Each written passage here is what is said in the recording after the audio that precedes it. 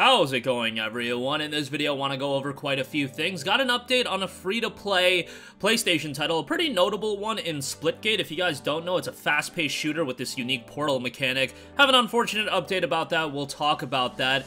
A PlayStation 4 PlayStation Plus title has gotten a PlayStation 5 upgrade. This is essentially the same thing what uh, that happened with Final Fantasy VII Remake a while ago, where initially there wasn't a PS5 upgrade available. Now there is, and we'll talk about that. Got a big update on the Callisto Protocol. That has quickly become one of my most anticipated games for the rest of the year. Super excited about that. And another game, not as excited for, but definitely excited for, New Tales from the Borderlands. We got a brand new trailer for that and new gameplay. More on that at the end of this video. But first up, I want to start off with some unfortunate news about Splitgate. So this came from the official Splitgate Twitter account. To our Splitgate fans, we could not be here without your support. We pride ourselves on trying to be as community focused as possible. We strive to improve our game and build a better future for Splitgate because of the enthusiasm of our fans. Thank you. Splitgate achieved a level of success that we could not have anticipated and that few indie games are fortunate to reach. That initial success brought an opportunity to turn what started as a college dorm dream project into a AAA game that could stand toe-to-toe -to -toe with shooters from the biggest publishers in the industry. But this also meant as we brought on top tier talent from across the industry, we've spent a lot of time trying to rework old content and systems that were originally built by a handful of people. We are in a way a bailing water while also trying to keep everyone who bought a ticket on board to our ship happy, while also trying to turn our boat into a rocket ship. After careful consideration and much deliberation, the 1047 Games team has determined that in order to build the game the fans deserve and build it in a way that isn't trying to retrofit and live operate an existing product, we are ending feature development of Splitgate. We're turning our attention away from iterative, a smaller update, and going all in to focus on a new game. In the Splitgate universe, which will be present revolutionary, not evolutionary, changes to our game. It will be a shooter, it will have portals, and it will be built in Unreal Engine 5.0, and it will be free.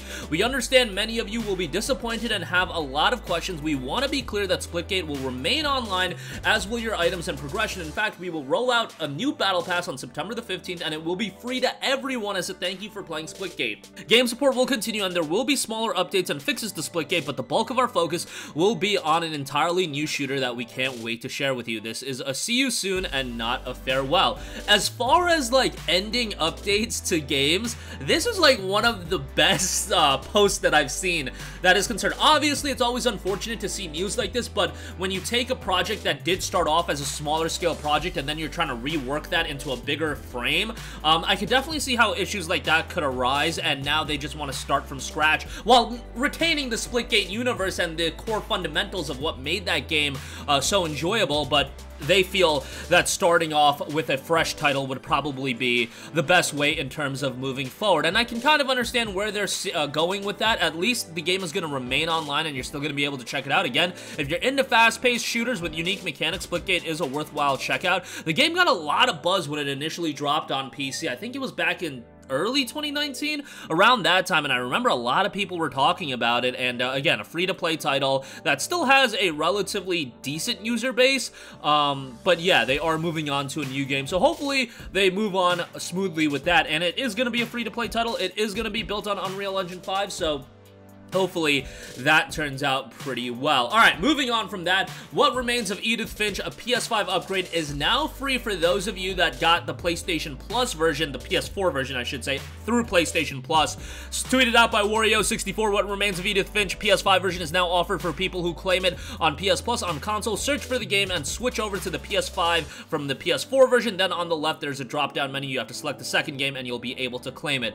Another one of those instances where a Plus game was offered in the past and then it got ultimately upgraded. Uh, same thing happened with FF7 Remake where I think back in March of 2021, that game was offered as a plus freebie, but then Intergrade came out and it got upgraded on PS5, and then the upgrade ultimately came well after that. Obviously, What Remains of Edith Finch is a smaller scale game, but still nice to see that the people that did get the game through Plus are going to be supported with the PlayStation 5 version of the game. So go ahead and pick that up. All right, moving on from that, the Callisto Protocol. This is a game I'm super excited for. Definitely got that Dead Space vibe going on for it. And TrueTrophies.com, with their sister site True Achievements, spoke to Callisto Protocol developers uh, over at Gamescom, and they talked about as far as how long this game is going to be supported. And a CTO, Mark James, noted, We view this as a full service title, and we will be investing in DLC. We're looking at four years of support after release.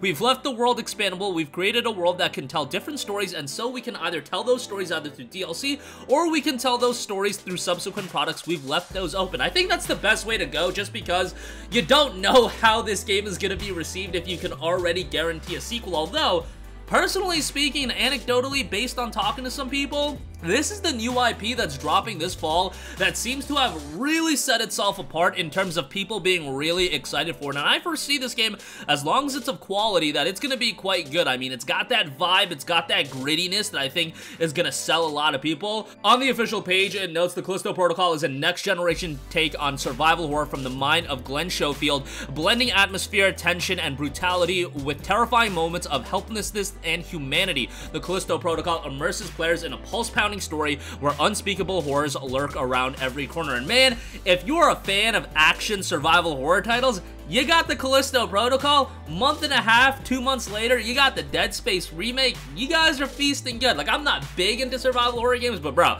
I'm excited for the Callisto Protocol again, one of my most anticipated games of the year. And Dead Space 1 remake, as long as Motive does a good job with that remake, and from what I've seen, it does look like they're doing a very good job with it. I think that's going to turn out really well as well. So, a lot of quality stuff coming out, but the Callisto Protocol, them already having this vision for something that's far greater than just this initial entry, I find that pretty exciting as well. And hopefully they do develop a quality world with a lot of backstory, a lot of lore. Um, interested in how this game is ultimately going to be received. It is scheduled to drop on December the 2nd, so be on the lookout for that. One of my more anticipated games of the year.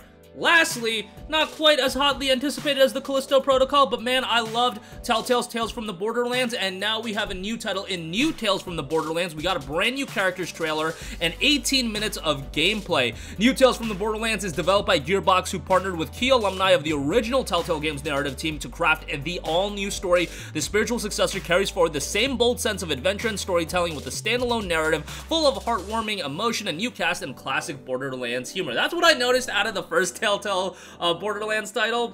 Tales from the Borderlands. That game was absolutely hilarious, but it was also filled with quirky characters, and I really enjoyed that game. While Borderlands has lost some of its luster for me, um, I'm still looking forward to this game. I'm cautiously optimistic with it, and uh, once again, with the new Tales from the Borderlands, you still have that quirkiness definitely there, so hopefully that is carried on through the entirety of the game. New Tales from the Borderlands is due out for PlayStation 5, Xbox Series, PlayStation 4, Xbox One, Nintendo Switch, and PC through Steam and Epic Game Store, so it's going to be dropping on Steam as well. It will be dropping on October 21st. But that is going to do it for me. Again, unfortunate news about Splitgate, but hopefully that development team can progress with a new free-to-play title that is of quality, and hopefully we'll hear about that soon. And as of this moment, Splitgate is still live. You can still completely play it, and the Battle Pass, the next one, is going to be free come September 15th. What remains of Edith Finch? If you have the PlayStation Plus version, you can upgrade that to the PlayStation 5 version. Callisto Protocol looks to be a world that can be expanded. Four years of support, maybe DLC, maybe subsequent product releases. We'll see how that turns out. Very excited for that. And New Tales from the Borderlands will be dropping October 21st. We got new character trailers, new gameplay, all that good stuff. That's going to do it for me. Sound off with all of your thoughts in the comment section down below. Thank you for watching, and goodbye. Hey guys, we hope you enjoyed the video, and if you did, make sure to hit the subscribe button, and if you're already subscribed, do us a favor and hit the bell icon. This way you'll be notified whenever we post a new video. That's the best way to keep up with all of our uploads, and we usually try to upload two videos a day. And with the bell icon hit, you'll be notified whenever we do upload a video. As always, thanks for watching.